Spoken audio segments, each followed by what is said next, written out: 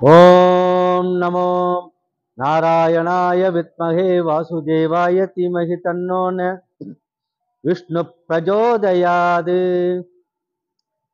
பகவான் ஸ்ரீமன் நாராயணமூர்த்தியுடைய பல வரலாற்று சிறப்புகளையும் அவனுடைய கல்யாண குணங்களையும் ஸ்ரீமத் பாகவதம் என்னும் அந்த அற்புத காவியத்தில் இருந்து மகரிஷி வேதவியாசர் நமக்கு அருளிய பல சிறப்புகளை நாம் பார்த்து கொண்டிருக்கின்றோம். அதிலிருந்து பகவான் வியாச பெருமான் கிருஷ்ணனுடைய அந்த லீலைகளை கிருஷ்ண அவதார கொண்டு கிருஷ்ண பகவானுடைய அந்த கண்ணனுடைய பல லீலைகளை மிக அற்புதமாக பாகவதத்தில் எடுத்துரைத்திருக்கிறார். அதிலிருந்து பல சிறப்புகளை நாம் பார்த்து கொண்டுதான் இருக்கின்றோம். இப்பொழுது ஸ்ரீமன் நாராயணமூர்த்தி ஆகப்பட்டவர் கிருஷ்ண அவதாரம் மேற்கொண்டு வசுதேவருக்கும் தேவகிக்கும் பிறந்த பகவான் இப்பொழுது நந்தகுமாரனுக்கும் அங்கே யசோதா யசோதா த- பிராட்டியாருக்கும் இங்கே வளர்ப்பு மகனாக வளர்ந்து கொண்டிருக்கின்றார் கோகுலத்திலே. இப்பொழுது தன்னுடைய லீலைகளை இங்கே பல லீலைகளை செய்து கொண்டிருந்தார் பகவான். இப்படிப்பட்ட நிலையிலே பகவானுக்கு ஒரு ஒரு பத்து வயது என்றே நாம் வைத்துக் கொள்வோம். ஒரு பத்து பன்னெண்டு வயது என்ற அந்த நிலையிலே பகவான் ஒரு வாலிப பருவத்திற்கு பருவமும் குழந்தை பருவமும் அல்லாத ஒரு பருவத்திலே அங்கே தன்னுடைய நண்பர்களோடு விளையாடி கொண்டிருக்கின்ற வேளையிலே அந்த கோகுலத்துடைய மக்கள் எல்லாம் நந்தனுடைய அந்த அவருடைய ஆணையின் படி இந்திரனுக்கு பூஜை செய்து வருகின்றனர். எப்படி என்றால் இந்திரனுக்கு செய்ய வேண்டிய பூஜைகள் செய்தால்தான் இந்திரன் வர்ணனுக்கு ஆணையிட்டு அங்கே மழை பொழிவதாக அங்கே ஒரு சிறப்பான ஒரு வழிமுறை இருந்தது. பார்க்கின்றார். இந்திரனுக்கு அங்கே கோகுலத்து மக்கள் எல்லாம் அவருக்கு இந்திரனுக்கு பூஜை செய்யவில்லை என்றால் அங்கே மழை பொழிவது நிறுத்தி விடுவான் இந்திரன். இப்படி ஒரு நிலை அங்கே இருந்தது. என்றால் இந்திரன் இவர்களை மிரட்டி அல்லவா தனக்கு பூஜை செய்ய வைத்துக் கொண்டிருக்கின்றான் என்ற எண்ணம் பகவானுக்கு வந்தது. கிருஷ்ணனுக்கு வந்தது. இதை நேரடியாக தன்னுடைய தந்தையாரிடம் கேட்கின்றார்.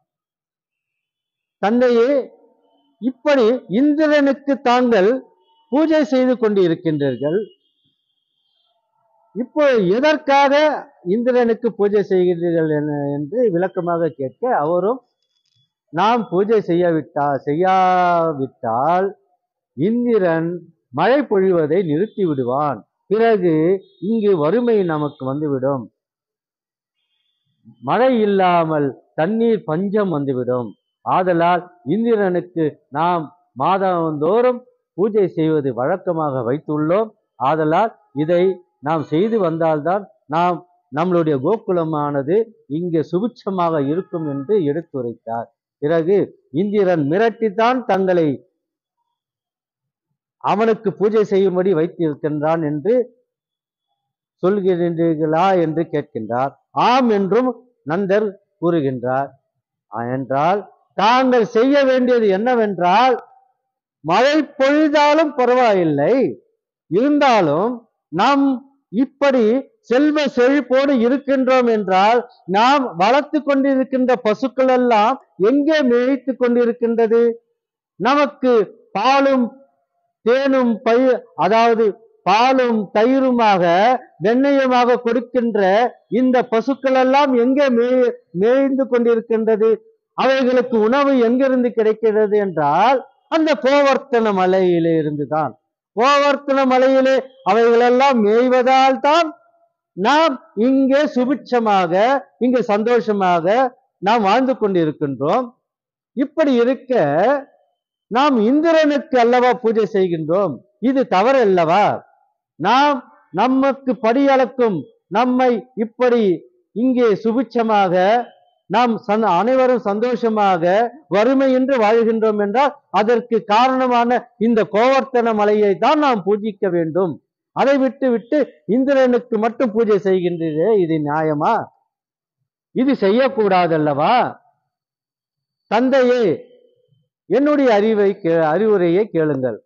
இந்திரனுக்கு செய்யும் பூஜைகளை நிறுத்திவிடுங்கள். கோவர்த்தன மலைக்கு பூஜை செய்யுங்கள். கோவர்த்தன மலைக்கு பூஜை செய்யுங்கள். ஏனென்றால் அந்த மலையிலே இருக்கும் புல்லையும் பழங்களையும் அங்கே இருக்கின்ற அனைத்து பொருட்களையும் தின்றுதான் நம்மளுடைய பசுக்களெல்லாம் இங்கே வாழ்ந்து கொண்டிருக்கின்றது. நாமும் வாழ்ந்து கொண்டிருக்கின்றோம். இப்படியாக நாம் நம்மளுடைய வறுமைகளை போக்குகின்ற நம்மளுடைய பசுக்களுக்கெல்லாம் பசி ஆறக்கூடிய அந்த பசியை ஆற்றக்கூடிய அந்த கோவர்த்தன மலையை தான் நாம் பூஜிக்க வேண்டும்.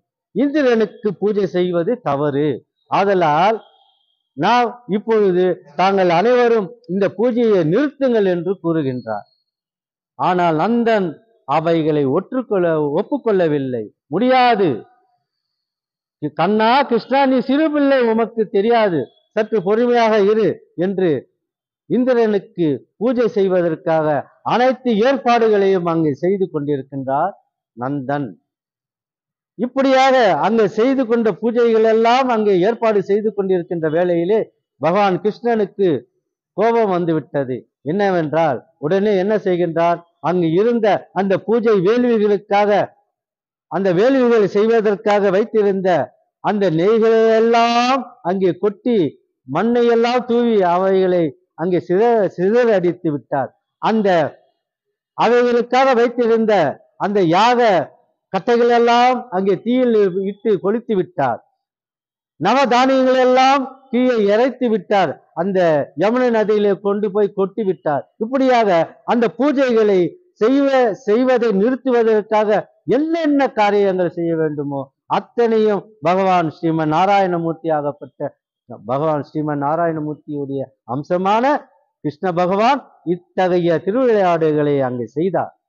பிறகு பார்த்தார் நந்தன் வேள்விகள் செய்வதற்காக ஏற்பாடுகள் செய்திருந்த வேலையிலே அங்கே ஒரு பொருளும் இல்லை அனைத்தையும் கிருஷ்ணன் அழிக்கப்பட்டு அழித்து விட்டான். என்ன செய்வது என்று புரியாமல் அங்கே கிருஷ்ணனை கூப்பிட்டு என்ன காரியம் செய்தாய் கண்ணா கிருஷ்ணா கோவிந்தா இப்படி செய்து விட்டாயே சிறு பிள்ளை தனமாக செய்து விட்டாயே இந்திரனுக்கு செய்ய வேண்டிய பூஜைகளை நிறுத்தி விட்டாயே என்று கோபம் கொண்டார். சிறிதாக அவரை கோபம் கொண்டு கடித்து கொண்டார். பிறகு தந்தையே நான் செய்தது அனைத்தும் தவறே அல்ல. இந்திரனுடைய பூஜை நிறுத்தப்பட வேண்டும். இப்பொழுது கோவர்த்தன மலையை நோக்கி அவனுக்கு கோவர்த்தன மலையை நோக்கி நாங்கள் பூஜையை செய்யுங்கள் என்று எடுத்துரைத்தார். பிறகு வேறு வழி இல்லை.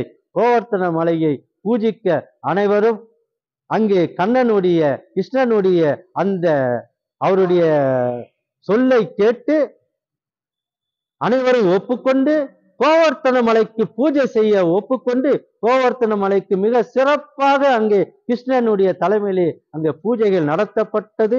வேத சாஸ்திரங்கள் அடைந்த அறிந்த அறிஞர்களும் அங்கே மகரிஷிகளும் வந்து கோவர்த்தனை மலைக்கு அங்கே வேள்விகளை செய்து பூஜித்தனர்.